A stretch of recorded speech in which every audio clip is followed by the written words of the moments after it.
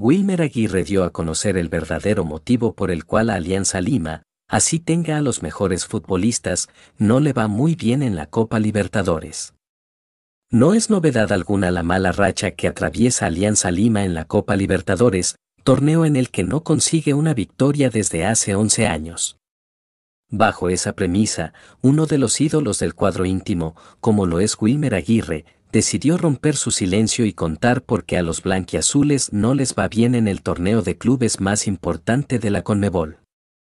Como sabemos, esta temporada Alianza Lima se ha reforzado con muchos futbolistas de renombre internacional, como lo son Carlos Zambrano o Cristian Cueva, ambos integrantes de la selección peruana.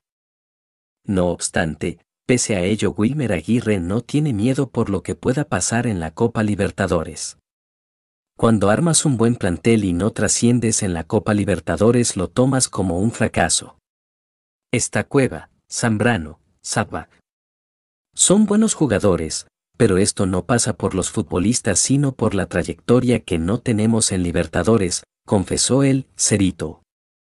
Con ello, dio a entender que el problema de Alianza Lima no es el plantel, sino que ya es un aspecto que pasa por lo psicológico debido a que en los últimos años no han sabido destacar en el ámbito internacional, por lo que deberán esforzarse esta temporada para poder competir con los demás equipos.